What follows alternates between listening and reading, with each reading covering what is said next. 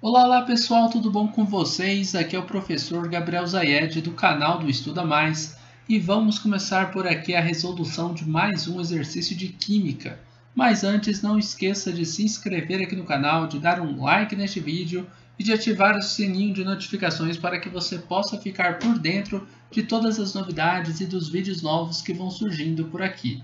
Atualmente, no canal estamos postando 24 vídeos por dia, pelo menos um vídeo por hora. Todo início de hora você encontra um vídeo novo e quentinho aqui para você, tá bom?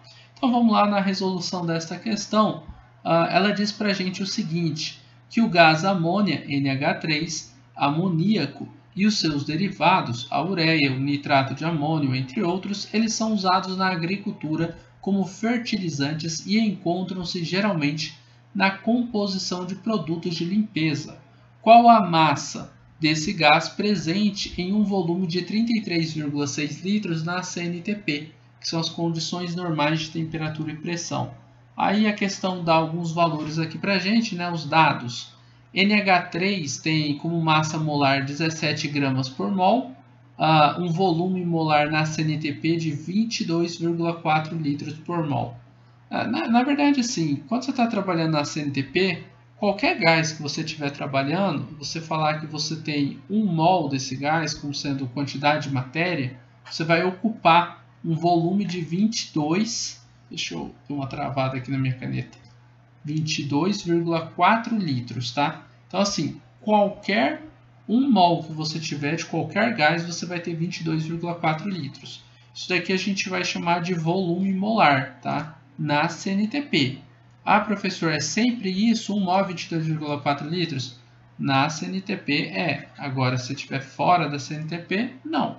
Tá? Então, a gente coloca aqui, ó, 1 mol de NH3, de amônia, ocupa 22,4 litros. Isso aqui é um volume e número de mols é uma quantidade de matéria, tá? Então a gente está fazendo uma relação entre a quantidade de matéria, quantidade de matéria e o número de volume. Bom, beleza, até aí. Agora, olha só. O que, que a questão quer saber? Ela quer saber a massa desse gás presente em um volume de, de 33,6 litros na CNTP. Pessoal, é, o volume vai ser de 33,6 litros, tá? Em um mol de NH3, qual que é a massa que você tem? Você sabe? A gente sabe, a própria questão falou pra gente, ó. A questão diz pra gente que a gente tem é, 17 gramas por mol. São 17 gramas barra mol. Se eu tenho um mol de NH3 aqui, então eu vou ter 17 gramas de NH3. Deixa eu colocar 17 mais para cá. Tenho 17 gramas de NH3. Aqui eu estou fazendo uma outra relação. Essa daqui é a massa, olha só. Aqui eu tenho a quantidade de matéria, que são os números de mols, equivalentes a essa massa. E aqui é o volume equivalente àquela massa e equivalente àquela quantidade de matéria. Os três aqui estão relacionados. Tá? A massa que eu tenho de amônia em 1 mol é 17 gramas, o número de mols que eu tenho em 1 mol é 17 gramas e o volume que eu tenho em 1 mol é de 22,4 litros. A questão quer saber qual a massa desse gás presente em um volume de 33,6 litros. Então é para eu descobrir uma massa em gramas de NH3 presente lá naqueles 33,6 litros. Esse 1 mol eu não vou precisar usar, porque eu vou fazer uma relação aqui ó, que vai ser entre a massa que a gente tem, 17 gramas, e, que está para 22,4, e o nosso volume. Tá? Eu sei que 17 gramas de NH3 está para 22,4 litros, porque 17 gramas eu tenho em 1 mol, e a cada 1 mol na CNTP eu tenho 22,4 litros, certo? Agora, 33,6 litros, eu tenho quantos gramas? Não sei. Vou fazer uma regra de 3 para descobrir isso. Eu vou pegar esse valor e multiplicar por esse, esse valor e multiplicar por esse. Ah, professor, e um mol? Ah, a gente não vai usar ele, a gente pode até apagar ele daqui. Essa relação a gente não precisou utilizar um mol. Eu só utilizei para relacionar a massa com o volume e você perceber isso observando a sua questão, tá? Então, só utilizei o número de mols para fazer essa relação entre massa e volume.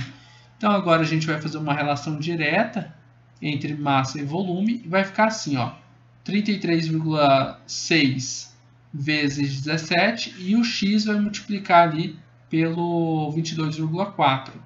Bom, eu vou começar fazendo x vezes 22,4, depois eu coloco o sinal de igual e vou fazer 17 multiplicado por 33,6. x vezes 22,4 vai dar 22,4 vezes x, e eu tenho aí 17 vezes 33,6, que vai dar 571, 571,2. O 22,4 que está multiplicando pelo x, ele vai passar dividindo para o outro lado da equação. Tá? Assim eu vou deixar o x isolado. E vou descobrir que x é igual a 571,2 dividido por 22,4. O resultado dessa divisão x vai ser igual a 25,5. O x que eu estou procurando é uma massa em gramas de NH3. Então, aqui na resposta você vai colocar gramas de NH3. Agora, vê se faz sentido. Quando você tinha 17 gramas de NH3, você tinha um volume de 22,4 litros. Você aumentou o volume e a sua massa do outro lado ela também aumenta. Faz sentido? Faz, faz todo sentido. Né? Isso daqui é uma regra de 3 diretamente proporcional. Então, a resposta é 25,5 gramas de amônia. E nós terminamos por aqui a resolução de mais um exercício de química.